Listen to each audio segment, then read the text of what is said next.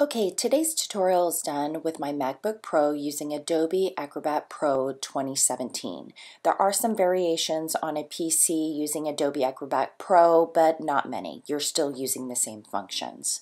Before we get into it today, please be sure to click subscribe and follow me on social media. Here are all my accounts. Okay, go ahead and put all of your documents into one folder because it will make combining them later on within Adobe much easier to do. You don't have to organize them in here. All you have to do is put them in one general folder to go ahead and combine them. So open up your Adobe application and get into your tools. Now, your tools are on your right side of your Adobe application. Um, again, there's going to be some variations, but either way, what you're going to do right here is create a PDF. We're going to bring all those PDFs together into one cohesive PDF. So right here you can see that there are multiple ways that you can create a PDF with single file, multiple files. But for this purpose, we're going to create uh, PDF with multiple files. So we're going to bring in those multiple files. Of course, you can create multiple PDF files, but that's not what we're going to do.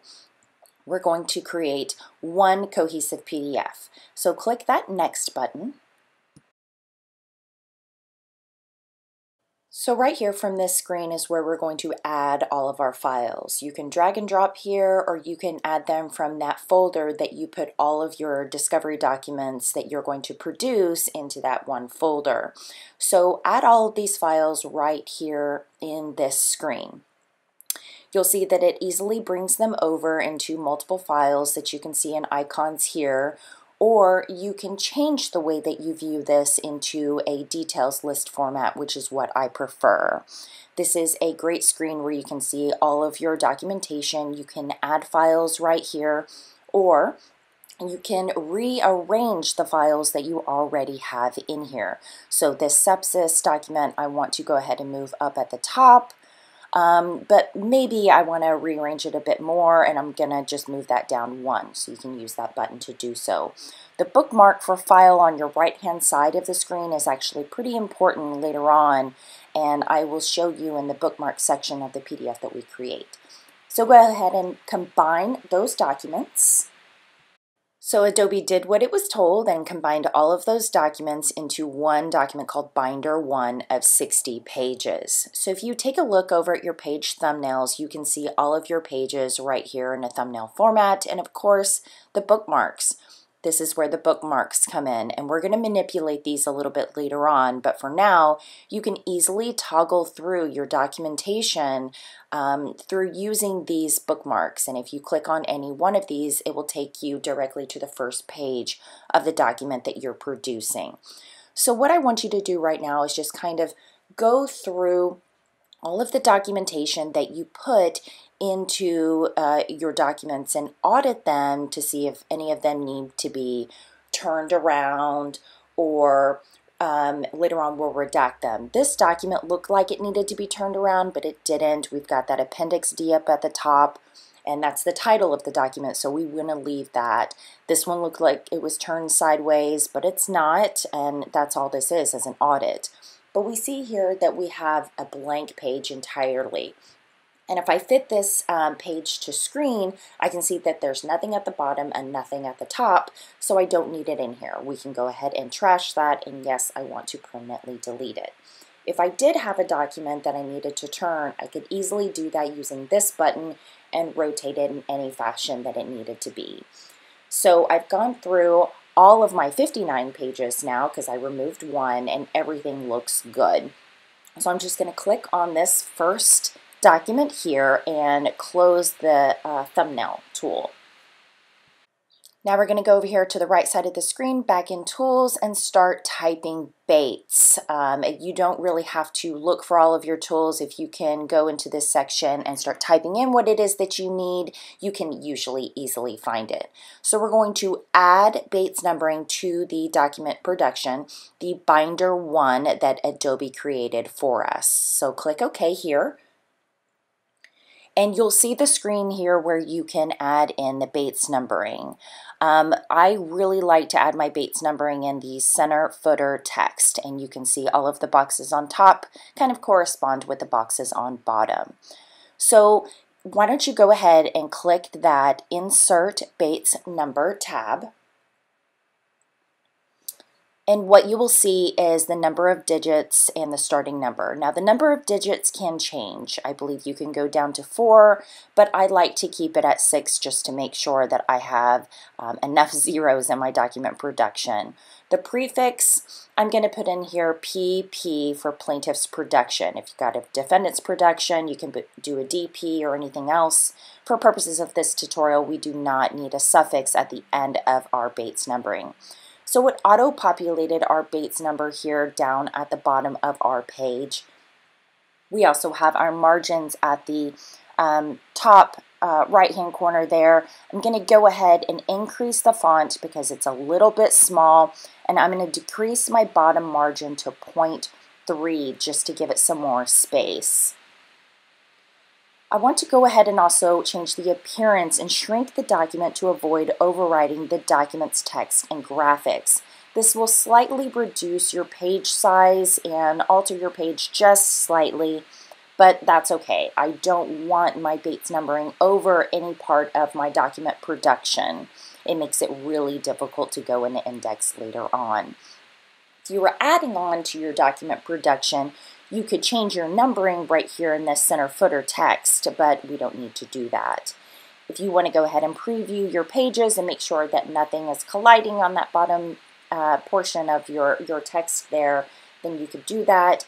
If you've got a confidential protective order um, uh, type that you need to put in there, you can do that in your left footer text or your right footer text. None of this is confidential, none of this is protected.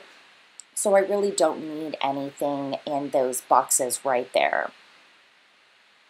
If this is Bates numbering that I'm going to use often, then I want to go ahead and save these settings so that I can come back and use um, this Bates later on in the format that it's in, the margin, the size, um, and it'll be easier to do it later on in another document production. So you can click um, save those settings right there and go back and you can see that plaintiff's production is saved right there. So I've got another document production later on in this case or another and I can go ahead and use those save settings. So click the OK button and you'll see that all of your Bates numbers are being applied and Adobe says so right here. Click OK and you've got your Bates stamp document. We need to go ahead and save this document as it is right now just to protect it in its form that it's in. It's fully combined, it's Bates labeled, so we need to go ahead and save it. But don't worry, this isn't the last step. We're just saving it for the purposes of saving it and having a protected document in the event something were to happen. So you can um, save it however you want to. Click that Save button, and we're going to go ahead and continue to work with this document right here. Now that our document is fully Bates labeled, we're going to go back and work in those bookmarks. And again, I will tell you why later. But what we're going to do is manipulate these bookmarks a little bit um, so they're reading exactly how we want them to. When we're going back and going through our document production, we want to easily be able to toggle through all of the different sets of the document production. I'm going to go ahead and audit this really quick to make sure that all of my Bates are right where they should be. There's nothing overlapping down at the bottom, which there shouldn't be. Um, but just do a quick audit and uh, make sure that all of your documentation reads as you want it to read. So now that I know that my document production looks good, it's time to start changing how these bookmarks read so that it matches what the document actually is. This is a chart assembly of active medical records, so that's exactly what I'm going to put in my bookmark the title of this document. In addition to doing that, I also want to go ahead and add the Bates numbering for the pages of this particular document. This is going to help me for indexing later. So I can see that my first page is clearly document number one, but if I toggle to my next, next document production and fit it to screen, I can see that that starts at Bates number seven, which meant that my chart assembly ended at Bates number six. So I want to go back to that bookmark, edit the index number, and give it a number six so that I know that it ends at document number six. Then I can go back to my sepsis sheet and I can rename that sepsis document. And of course, it's going to start at number seven. So I can go through and look at the next document and ends at 11. So I know that my sepsis sheet is from 7 to 10. So I will go ahead and rename this document how I need to, the sepsis fact sheet, and I'm going to Bates label it here for uh, plaintiff's document production starting number six, or I'm sorry, starting number seven um, and ending in 10. So I'm going to go ahead and do this, and you're going to go ahead and do this for all of your bookmarks because it will definitely help you with indexing later on. Now, we're not done with this as soon as we're done with the bookmarks here, and we're certainly not going to produce it this way. This has too much metadata in it that's privileged and protected, and we don't want to produce it in this format. So I'm going to go ahead and start fast forwarding through this screen while I go ahead and change all of these bookmarks.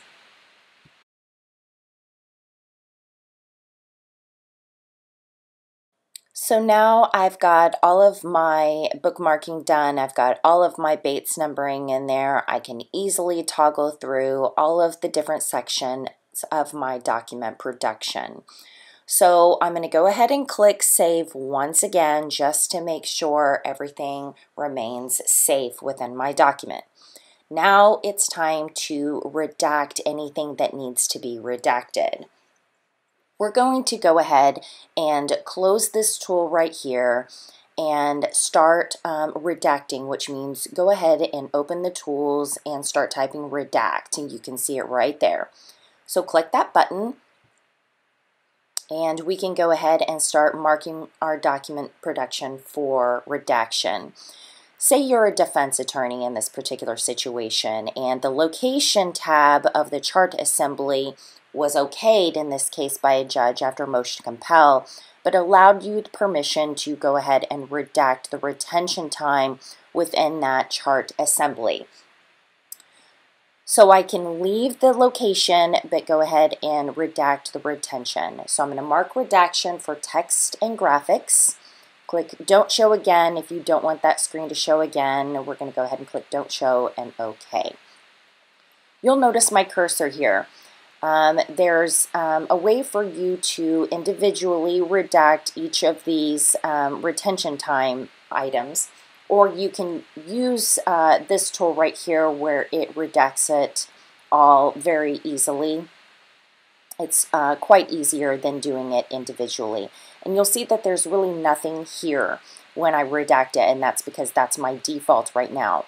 But you can change your default in the properties section you can use an overlay text and choose your font. You can decide on the text alignment and the custom text that you're going to put in there. For this purpose, we're going to put in redacted. We're going to uh, click the auto size text to fit redaction region um, so that we're not constantly having to shift our font size and you'll notice that the font size actually um, is removed. You can change your font entirely, but there's really no need to get fancy here. Click OK. And you'll see that it, it actually didn't change my properties because I didn't ask it to change the properties of that redaction. You're going to have to right click over that and click on the properties section. Then you can use your text overlay, choose your color, choose your alignment, put in the text that you want. Now if I just clicked OK right here and I didn't change anything else, I didn't change my font, I didn't change my size, um, and of course you can lock these and make these properties default, but we're going to go ahead and leave it right here and um, not do anything with font. If I wanted to, I can change it to any one of these and click OK. Now you'll see that I have a very small redacted right there, which isn't very visible. And that's not what we want. We want to make sure that this is very visible. So go back into Properties and click that Auto Size Text to Fit uh, Redaction region.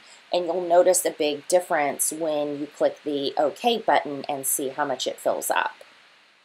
Now that is a noticeable redaction. Much, much better. And this is the type of redaction that you want to see in your discovery. You'll notice that when I hover over the redacted portion, it says redacted when I hover, but it's not going to apply it yet until you permanently apply it to your page. So you can click that apply button and it will give you that little warning that it's going to permanently remove these, um, the lettering there. And yes, you want to actually go ahead and remove it we are not going to go ahead and look for the uh, hidden information throughout the rest of the document yet because I know I have some additional redacting to do. You can click yes for always perform this section, um, but we're going to go ahead and click no right now for this tutorial because we have the rest of our, of our document production to redact. So mark for redaction and go ahead and redact all of this. And you can see that those properties went ahead and stuck, but again, I'm just hovering over and it shows redacted. It's not permanently removed yet. Go ahead and redact the rest of your documentation so that everything um, shows that it's redacted when you hover over it, but we're not yet applying it. We're going to be efficient here and redact everything that we need within this document and then we will go ahead and apply it all at once whenever we are done. That was the last of my document, um, so that means I don't have anything else to redact, and I need to go ahead and apply these redactions permanently now. So click that apply button.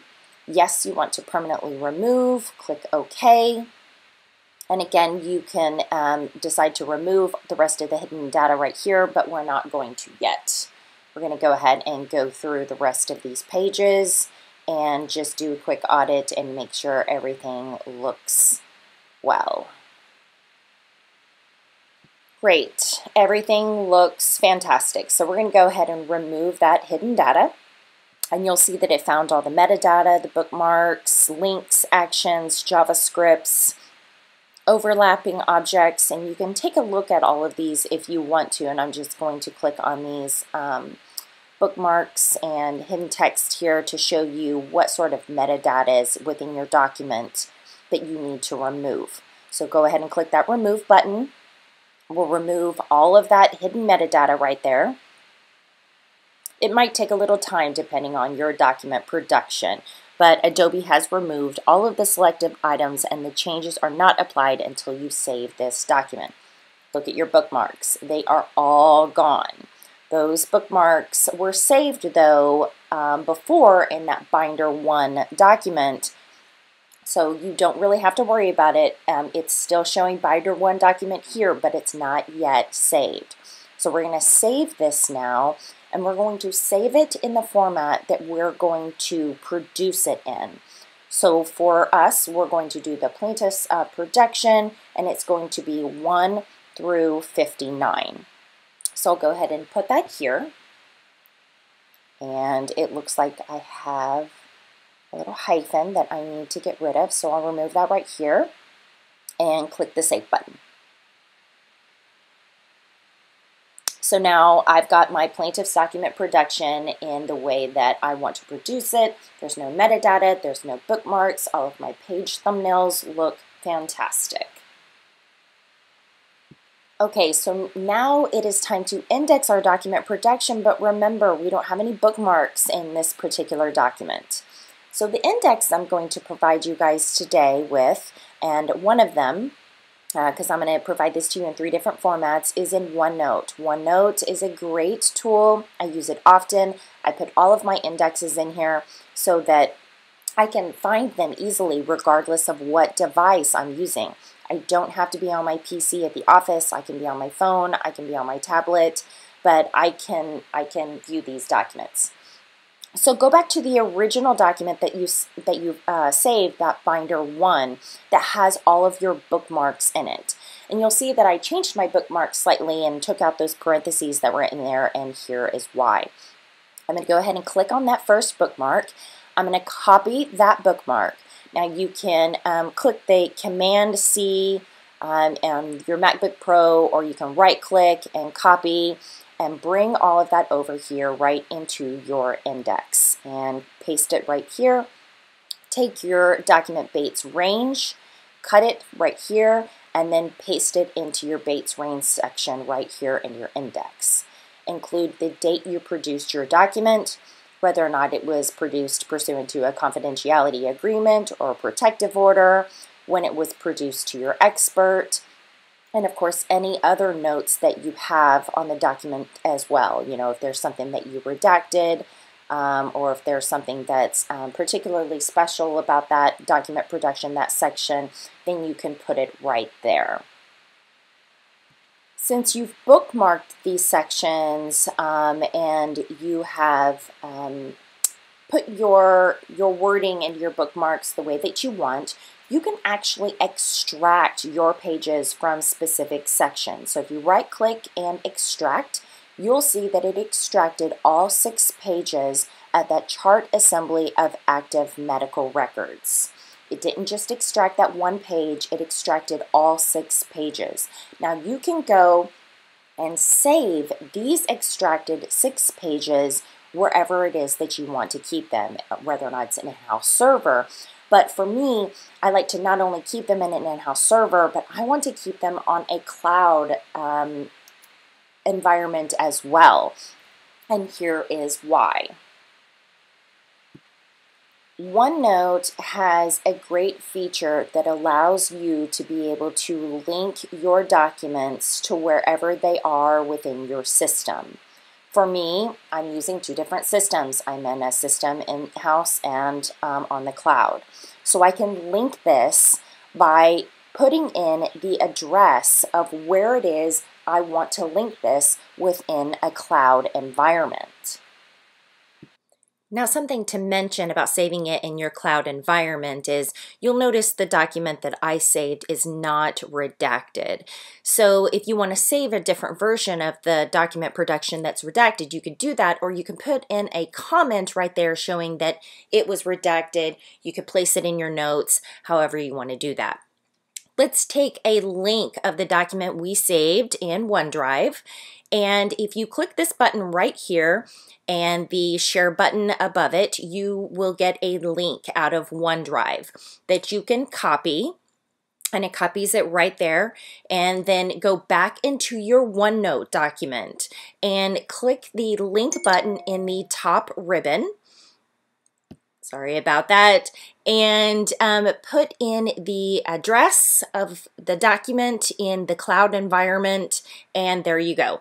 It makes it an active hyperlink um, for you to use on the go whenever you need. You just click that button, and there you go goes into your OneDrive folder and it shows you uh, your document right there. You can download it on your device, you can um, annotate it, you can share it with someone, um, whatever you need to do with that document. But it's very easy to access on the go, which is the most important thing. Work from anywhere. So of course, on that note of working from anywhere, I want to show you how to do this. Navigate to your OneNote application on your mobile device, click the, in the notebook and the section and the page, which is your document production index. And right there, you have your document production index. Had you gone through all of the bookmarks, you would have had them in here. You would have um, separated those documents out by extracting them and putting the hyperlink in here. Click on that hyperlink, and open and it navigates you to OneDrive where there you have it.